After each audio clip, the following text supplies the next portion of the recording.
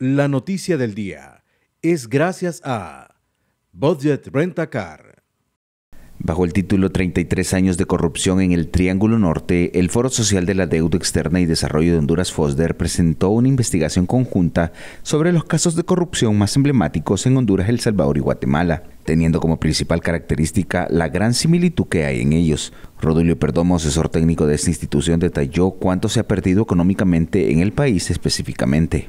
Eh, nosotros solo tomando los siete casos más grandes de esos 33 años, nos dan 3.500 millones de dólares, eh, que es el, monto global del, dinero que se ha perdido y que ha llegado a, a otros bolsillos y que por supuesto afecta la capacidad de los estados el estudio da a conocer los siete principales casos, desglosándolos por décadas en cada uno de los países.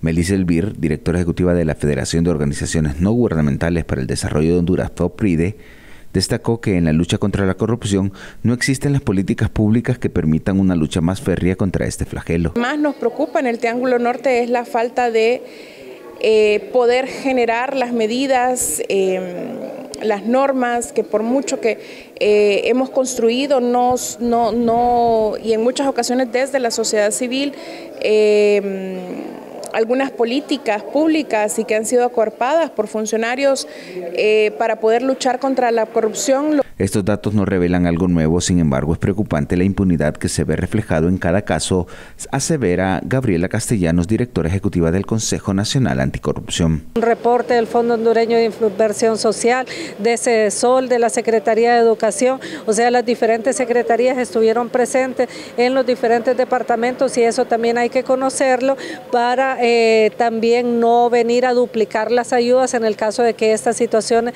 ya se hubieran abordado sobre la reactivación de esta unidad por parte del Ministerio Público para la investigación de los delitos electorales, ¿cómo se analiza ahora? Es importante que esa unidad esté pendiente, se están tomando las acciones necesarias para transparentar los procesos electorales. Entre los casos que destacan en Honduras están el chinazo en 1993 con un perjuicio de 500 millones de dólares.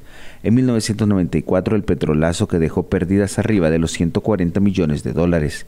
En el periodo entre el año 2000 y el 2009 destacan Incesa en 2005 con un quebranto de 132 millones de lempiras del Arca Nacional y el del PRAF Salud en 2006 que provocó 525 millones de lempiras en pérdidas. En el último decenio, el desfalco del Seguro Social en el 2010, el Trans 450 en 2013 y los hospitales móviles en 2020 completan la lista de impacto.